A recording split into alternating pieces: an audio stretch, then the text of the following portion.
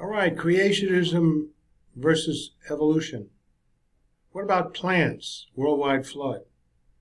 What kind of survival would there be? All this water, especially salt water. And uh, what evidence do we have that supports one or the other, creationism versus evolution? Evidence might be corroborated by either in different scenarios. Which has the better Uh, record? Corroborates more of the possibility that the worldwide flood uh, was actually did occur and it reflects a recent creation and not billions of years of fossil because a worldwide flood would have destroyed the fossil record in a, in a very short time and we wouldn't have the fossil record we have today. So what is that fossil record? We'll look into that soon. All right, let's go to K. 15.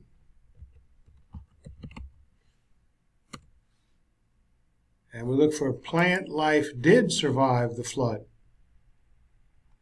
So with respect to the survival of plants through the flood, we have this comment from Walter E. Lammerts, consultant in the Horticultural Research, Research Division of Germains Incorporated. I am convinced that many thousands of plants survived either as floating vegetation rafts or by chance burial near enough to the surface of the ground for asexual sprouting of new shoots. I am, of course, aware that objections could be raised on the idea that long exposure to salt water would be so harmful to any vegetation as to either kill it or so reduce its vitality as to make root and new shoot formation impossible. And just growing. However, he sees no reason at all to postulate that the salt content of the ocean at the time of the flood was as high as it is now. In fact, on the basis of the canopy theory, we would most certainly expect that the salt content of the ocean before the flood would be diluted from all the waters above and below, perhaps by one half. Naturally, during the first few hundred years after the flood, the salt content of the ocean would again be rapidly, rather rapidly raised because of much above normal drainage of the land surface.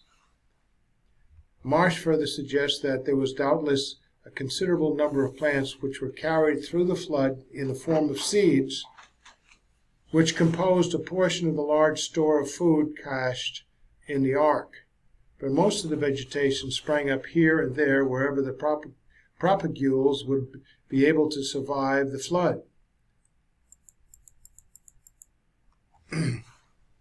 Frank L. Marsh, Evolution, Creation, of Science. Bible flood account is original and not derived from the Babylonian flood myth as critics maintain. The Bible account and the Babylonian myth, many contain, are two nonsensical uh, corroborative myths, but they're too different to prove derivation one from the other. He says there are so many important differences in detail between the two accounts, the biblical being far more rational and consistent with the Babylonian, that it is quite impossible to assume that Genesis in any way depends upon the Gilgamesh epic as a source. The composition of this, the dates, are not as important as the content. The gods of the Babylonian flood are not the one true God of the Bible. So we have a major difference. In Genesis, it is the one and only true God who brings the flood because of the moral depravity of mankind. In the Babylonian account, the flood is sent because of the rashness of the god Enlil, Enlil, and in opposition to the will of other gods. Major difference. Announcement of the Babylonian flood kept secret. In Genesis, God himself warns Noah to build an ark and gives mankind 120 years to repent. In the Babylonian account, the flood is kept secret by the gods. But this God, the Babylonian Noah, this man actually, is given a hint of the coming disaster by Ea without the knowledge of Enlil. Hmm, interesting. The Babylonian ark and its occupants are also different. In Genesis, the ark is 300 by 50 by 30 cubits with three decks and carries eight people, two of which of each unclean animal and seven of the clean and food. In the Babylonian account, the ark is 120 by 120 by 120 cubits with nine decks and carries all of, of uh, Utnap Ishtim's family and rel- relations, the boatman and all the craftsmen or learned men, the seed of all living creatures, and all his gold and silver.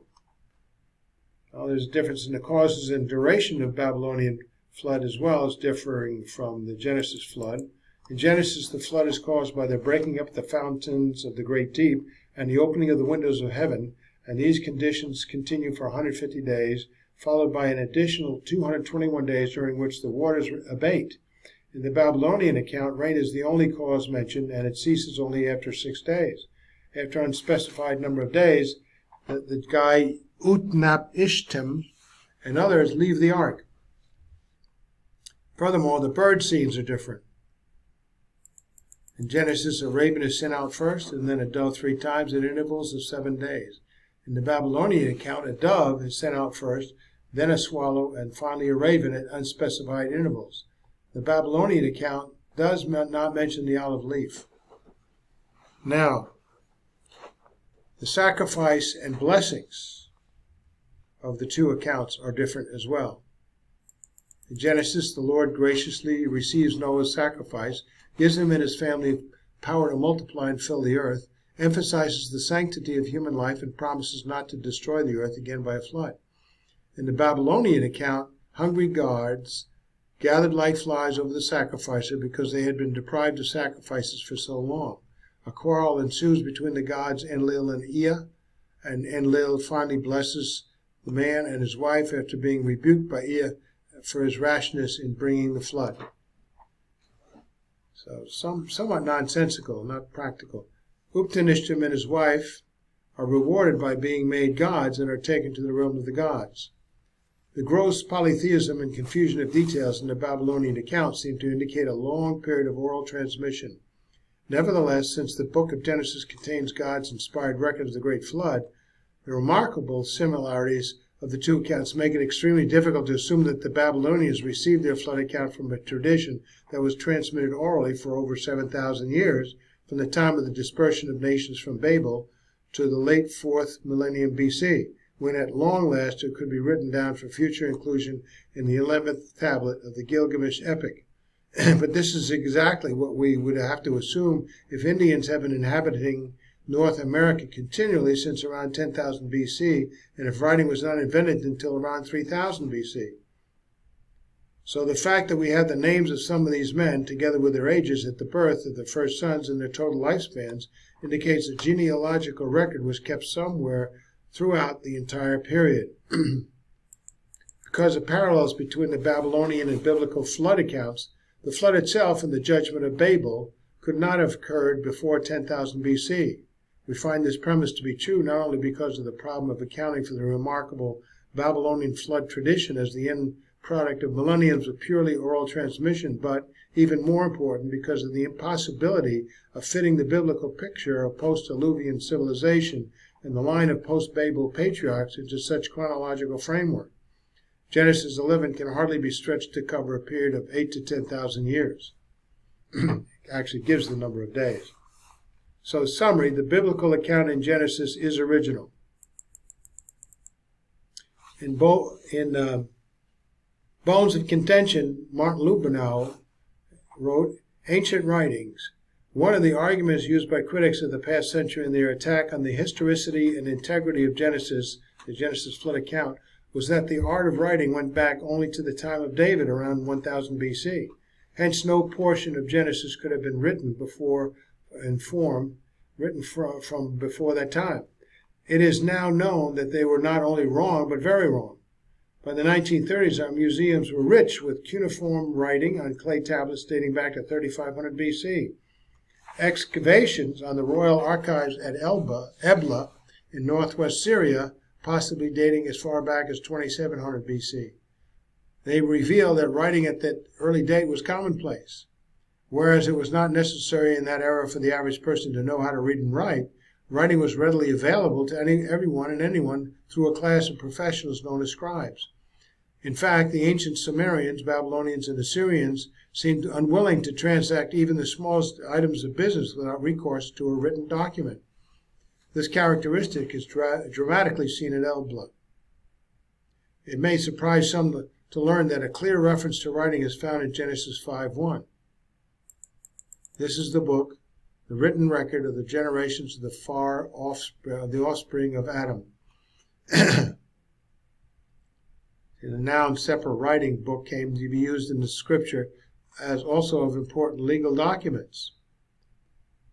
Several source books are cited in the Old Testament, such as the Book of the Wars of the Lord, the Book of Hashar, the Book of the Chronicles of the Kings of Israel, the Book of the Chronicles of the Kings of Judah, and various other books. Several source books are mentioned as being woven into the scriptures the Book of Generations of Adam, uh, and the, the book concerning Amalek, the Book of the Covenant, and the Book of the Law of the Lord Moses.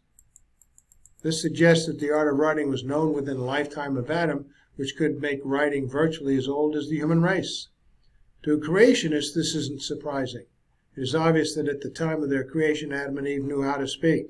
Yet language is incredibly complex, and no one understands its origin. The ability to write is in the same magnitude of complexity as the ability to speak.